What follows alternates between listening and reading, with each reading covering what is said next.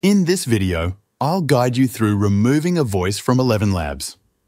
First, make sure you're signed into your account on the Eleven Labs website. Once you're in, look over to the left side of the screen and find the Voices tab. Click on it and you'll see a list of all the voices you've added to your library. If you've cloned a voice and want to remove it, go to the Personal tab within this section. Here, you'll find a list of any cloned voices associated with your account. To delete one of these voices, locate the View button next to the specific voice you want to remove.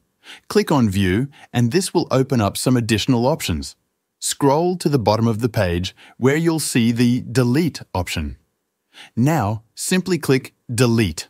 A prompt will appear asking if you're sure about removing the voice. If you're ready to confirm, go ahead and select Remove Voice the voice will be permanently deleted from your account. If you need to remove more cloned voices, just repeat this process.